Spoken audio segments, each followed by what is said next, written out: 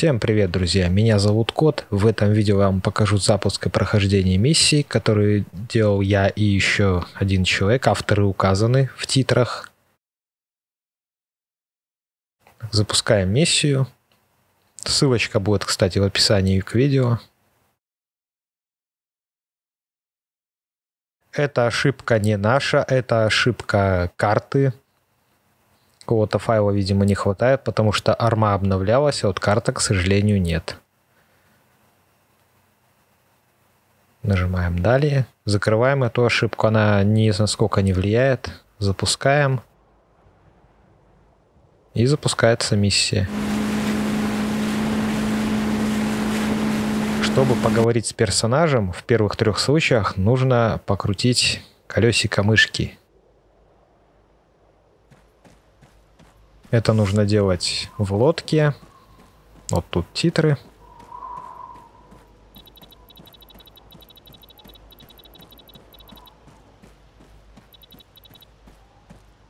Потому что без диалогов она непроходимая. Тут как бы сюжет присутствует. Мисс миссия тестовая. Тут не особо много чего сделано, но... Вот так же крутим колесико мышки, брам пункт поговорить и разговариваем с персонажем. Я рекомендую остаться с ними, но идти одному, потому что если пойти одному, то вы будете играть ночью, а ПНВ вы найдете только у вертолета. Он там по заданию будет. Если идти с ними, то они вас также сопроводят туда ночью. Если выбрали идем днем, то нужно обязательно подойти к этому парню. Это последний человек, с которым мы вот так разговариваем через колесико мышки. Дальше диалоги будут активироваться автоматически. Вот разговариваем с ним.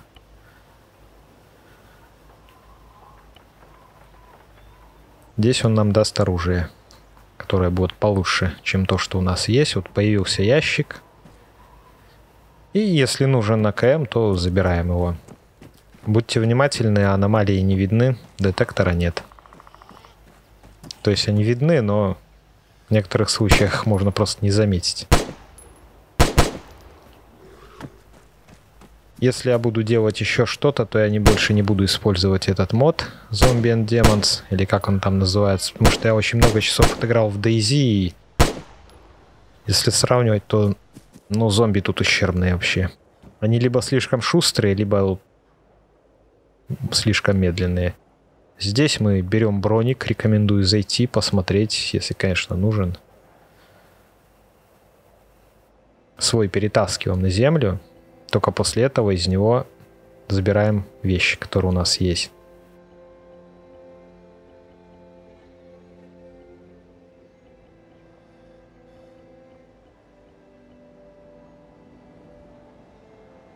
Бронежилет пятого класса он дает, ну, насколько это в армии реализовано, конечно, дает хоть какую-то защиту. Тут можно взять и 74-й калаш, ну, тут уж кому как. Есть в игре и западное оружие, кому если нравится. Можно найти также, вот, например, если обыскать этот стол, то здесь можно найти стандартную М4. Патроны к ней, а также обычный прицел.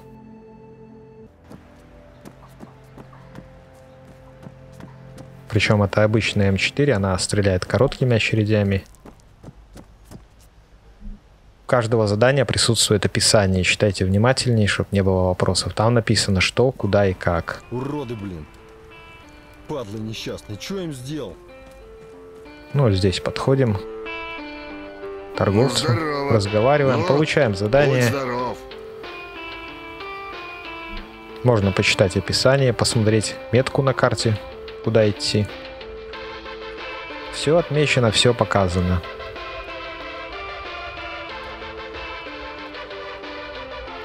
Ну и, соответственно, выдвигаемся.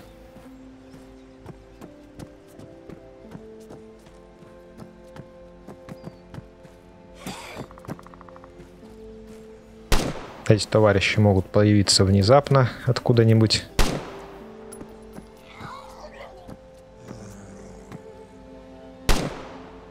Убивается только в голову. Слишком близко к себе их лучше не подпускать, конечно. В моде своя медицина. Так что если вас ранили, убираем помощь самостоятельно. Осмотр.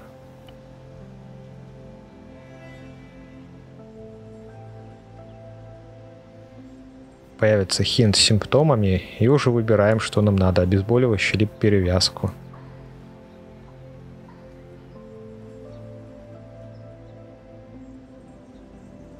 Но обычно два раза нужно перевязаться.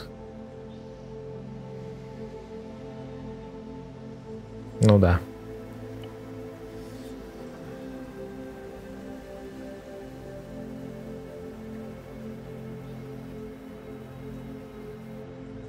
Перевязываемся, проверяем еще раз.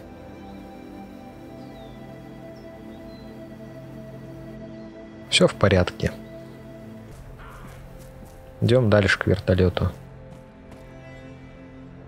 Тут надо быть повнимательнее, потому что полно аномалий, и мой совет чаще сохраняйтесь. Есть автосохранение, но они не везде. Ну, тут можно аномалию использовать, чтобы она и грохнула. Вон сколько мяса вы, выпало.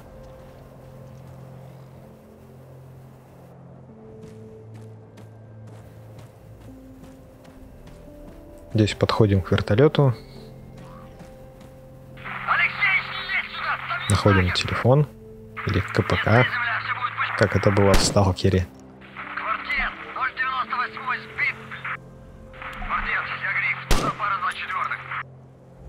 И здесь можно сразу идти обратно, а можно посмотреть этот ящик.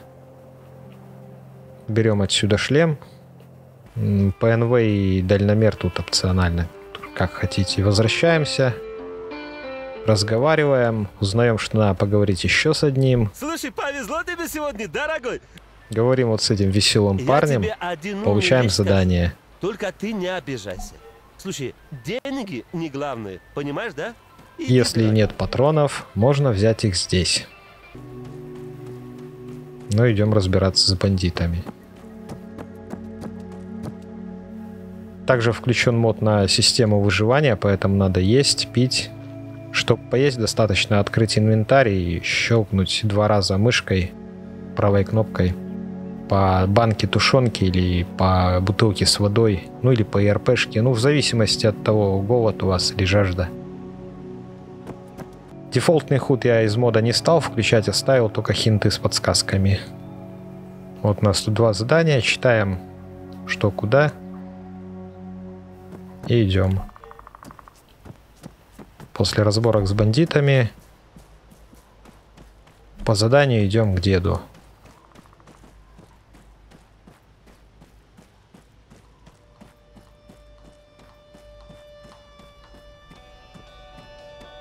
Тут у нас сидит забытый всеми дед, он после разговора он сообщает о тайнике. Так что если нужен ВСС, возвращаемся на бандитскую базу и забираем его. Далее разговариваем Зачем? и идем на какому делу? лабораторию. Тут разговариваем с персонажами. Здравствуйте. Значит, двое рядовых Аномалии решили подколоть прапора. Над зданием стоят маркеры, тут ошибиться трудно. Также тут можно взять СВ-98. Только не Говорим с последним, он нам говорит про проводника. Ищем проводника. Чтоб пешком туда не идти. Проводник появится только после разговора с медиком, и будет он вот в этом здании. Подходим, появляется диалог, и мы появляемся уже у объекта 1. Читаем описание. Тут главное сделать два дела. Перебить наемников и осмотреть КПП. Там будет важный персонаж.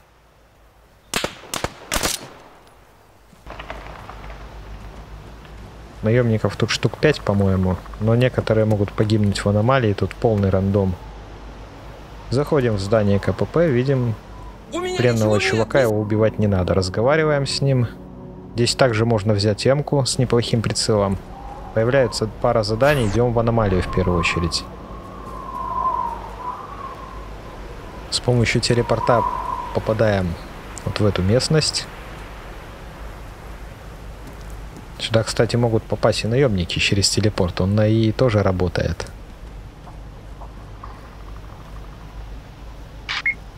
Находим телефон. Узнаем, что случилось с учеными, которые пропали. Ну а теперь возвращаемся на объект А2. Если идти по дороге, можно найти промзону. В ней также будет ящик с оружием.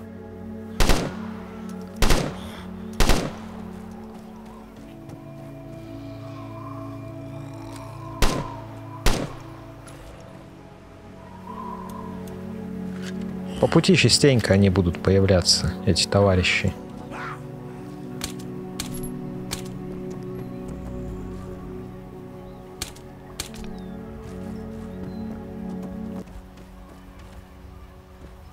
Наверное, где-то здесь должен быть этот ящик.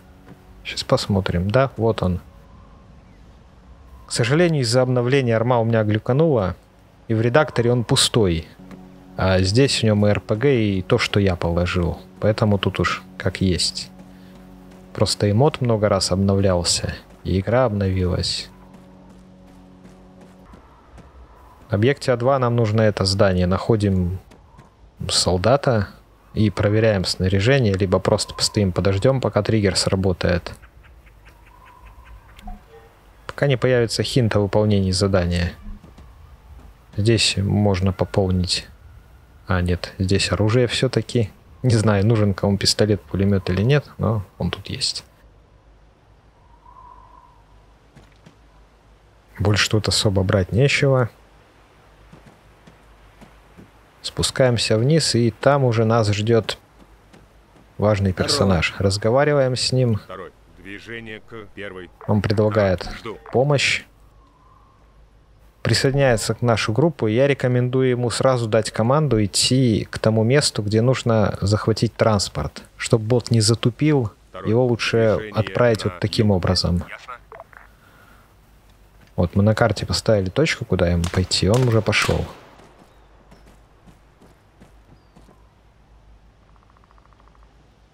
Приходим с ботом сюда. Здесь... Здесь нужно перебить бандитов, но старайтесь не испортить КАМАЗ, чтобы пешком не пришлось идти. Второй. Садись в грузовик. Понял. Берем машину, садим бота и едем в Бренск. Не надо на КАМАЗе ехать в Аркуту, иначе скрипты поломаются. Возможно, даже вообще ничего не заработает. Тут все намного проще сделано. Приезжаем в Бренск, выходим из КАМАЗа. Второй. В описании написано, что нужно подняться в этот дом.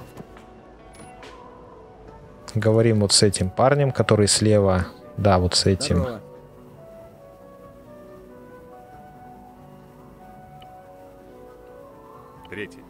Он присоединяется к нам в группу. И все вместе мы идем в Воркуту. Пешком идти не надо, а проводник проведет.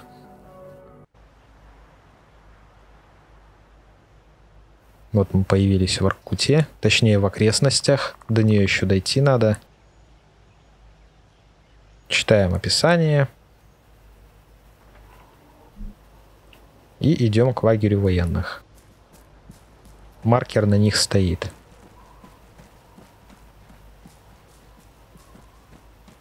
Они живы, с ними все в порядке почти. Разговариваем с Оружие на часовым. землю! Быстро! Он нам говорит поговорить с командиром. Поднимаемся наверх. И потом сюда.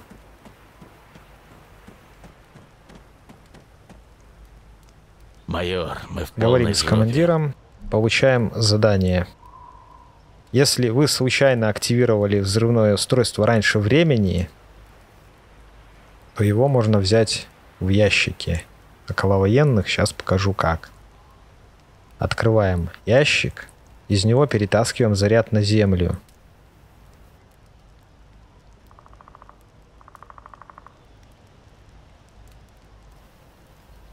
После чего ложим свой рюкзак, открываем его, убираем земля и перетаскиваем уже в рюкзак.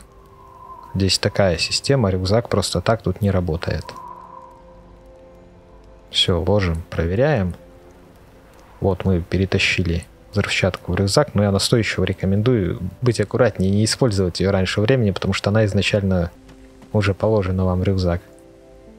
Здесь большой выбор оружия, всякой херни, маскировки, там еще что-то. Он РПК можно взять. Возьму, ладно, обычный каваш с ним побегаю. Нам нужно по заданию взорвать антенну.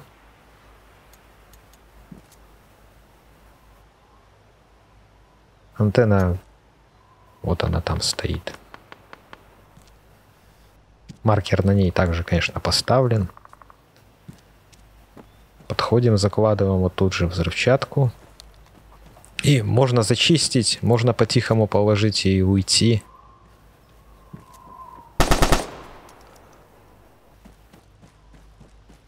После этого отходим подальше, взрываем. Антенна упала, задание выполнено. Возвращаемся к командиру военных, разговариваем. Вся группа присоединяется к нам.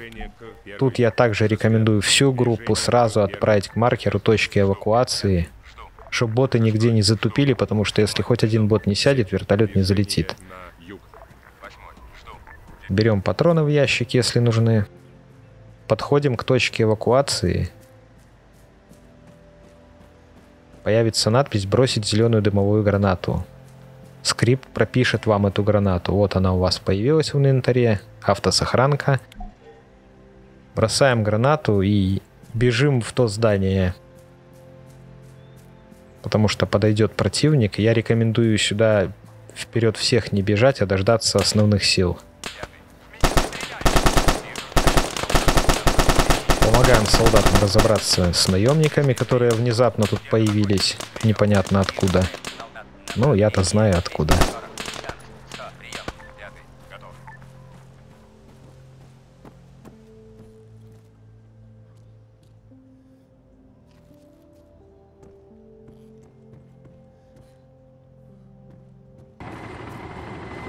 Через некоторое время за нами прилетает вертолет. Можно сразу дать команду бойцам, пока он еще летит, в него сесть. Вот так вот это делается.